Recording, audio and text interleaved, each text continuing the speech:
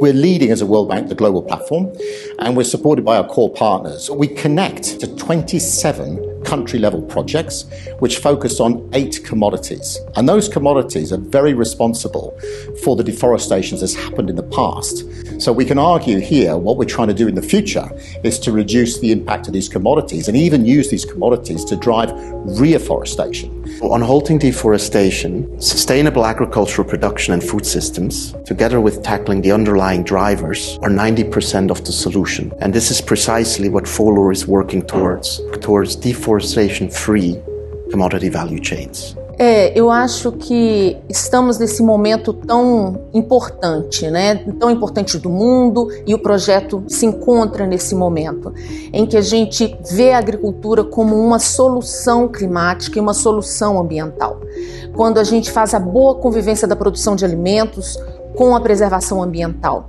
E é daí que vem o, o termo da prosperidade climática. It's a broad program. It's a 345 million dollar investment, so it's the largest Jeff funded integrated program. So we're very proud to have a leadership role in that. The World Bank, what people think of as a financing instrument, but for me, the World Bank is a knowledge bank. You know, we have tremendous amount of information across many sectors, and it's not just about the work we do at FOLUR, it's about the work we do at the bank, and we connect and bring that forward. We've put forward a series of tools on how to monitor and reduce deforestation, lots of ideas around technology, connectivity, you know, how do we really connect these farmers to markets? How do we improve all the systems around productivity?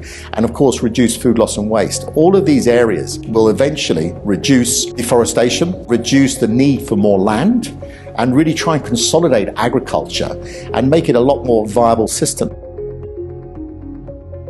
I think going forward in the future, we've got some big questions to answer. What is the European deforestation regulations that are coming forward? Because they're going to impact on our countries, our commodities that we work on.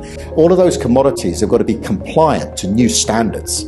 How do we introduce those standards so that the markets remain open for these products? Eu acho que esse é um papel do projeto fundamental.